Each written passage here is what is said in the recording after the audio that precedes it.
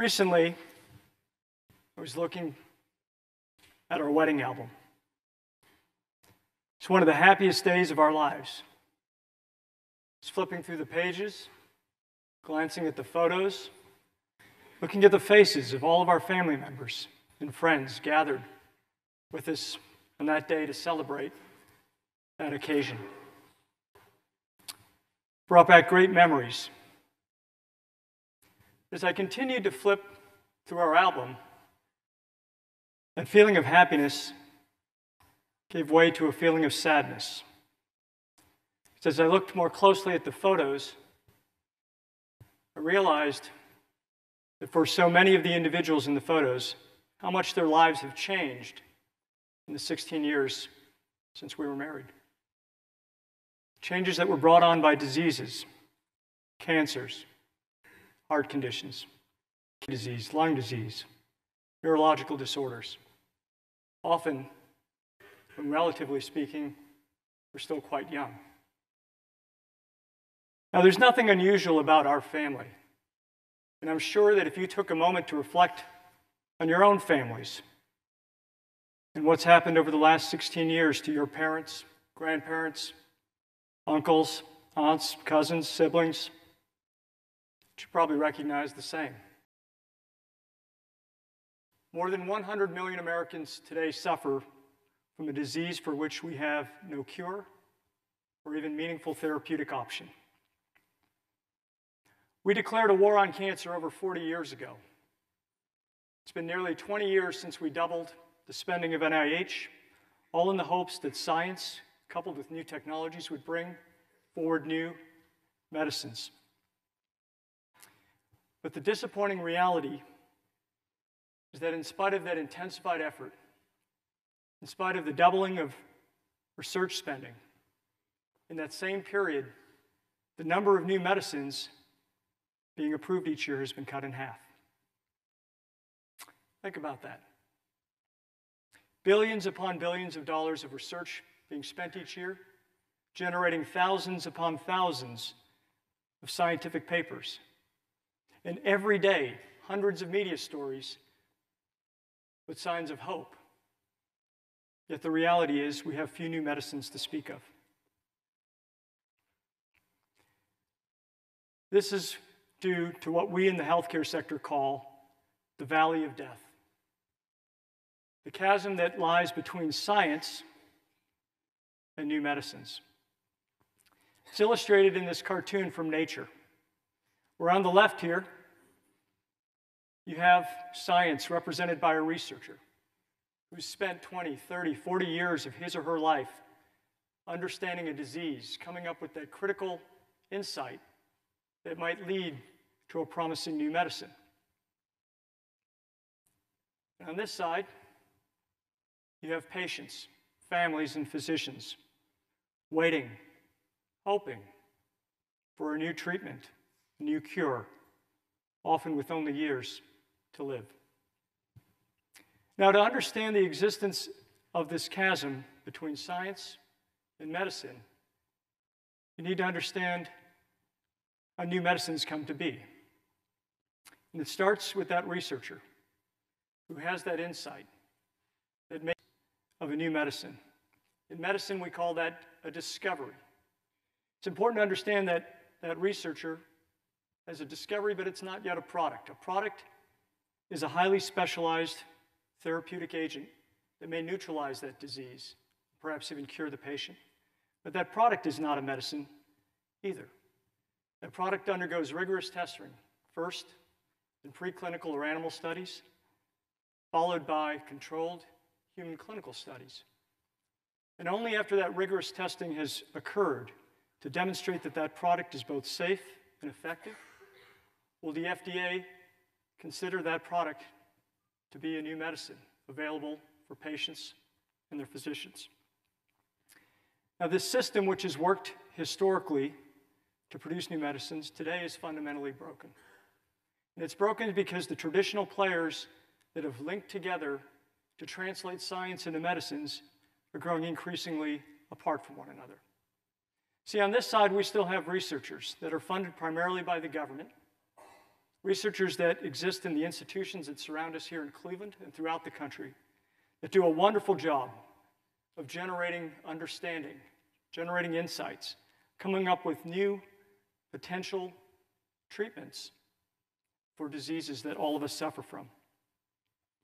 But those insights are still discoveries.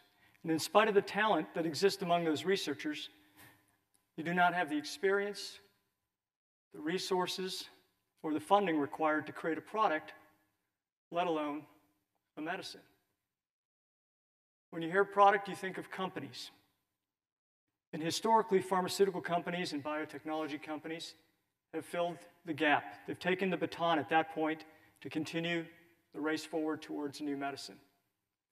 But unfortunately, over the last decade, due to pressures on their own businesses and financial models, they have drifted further away from those discoveries, looking to focus their attention and resources on products that are closer to becoming medicines, closer to generating revenue, and closer to generating profit. That's what's created what confounds our sector, what we call that valley of death. Now, this is on the tops of minds of everyone that's in the medical field and should be on top of the mind for citizens that are concerned about the generation of new medicines. Dr. Francis Collins, the current director of the National Institute of Health, describes it well in this quote that's on the screen behind me. On the one hand, you have an abundance of discovery that's been driven by year after year of funding by government coming up with these wonderful insights that are there that could potentially represent new medicines for patients. Yet, on the other side, we have this paucity of new medicines. The chart that I showed you as I started my speech, where we've doubled the input and cut the output in half.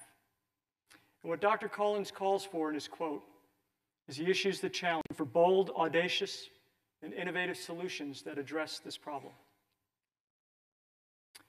Here in Cleveland, we have offered our own innovative solution to bridge the valley of death that we call the Harrington Project. The Harrington Project is an initiative that was launched in 2012 through a partnership of university hospitals, one of the nation's leading health systems, and the Harrington family, the entrepreneurial force behind one of the nation's medical leading medical supply companies, who came together with a sense of mission to bridge Medicine's Valley of Death. The project is a $250 million national initiative focused on accelerating discoveries into medicines through a unique and novel model, a model that aligns nonprofit and for profit elements towards this common goal.